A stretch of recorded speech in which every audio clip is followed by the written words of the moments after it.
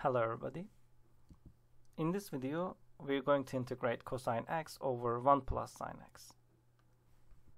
The integral might seem tough, but if you see sine and cosine on the numerator and denominator, your first attempt should be substitution. Because derivative of sine is cosine and derivative of cosine is negative sine. So we're going to start with u substitution. Let u become 1 plus sine x. So we can take care of this whole denominator. And du will be derivative of 1 plus sine x. Derivative of 1 is 0, derivative of sine x is cosine x. And if you solve for dx here, you're going to obtain du over cosine x. Now let's write everything in terms of u.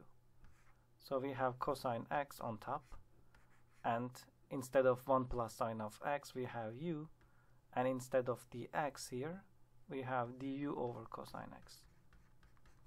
So cosines cancel out. So that's the beauty of sine and cosine together.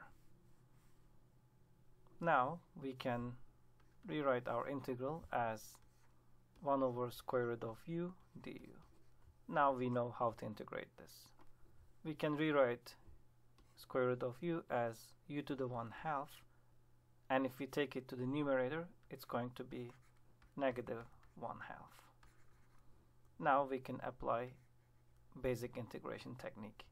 So we can add 1 to the power and divide it by the power.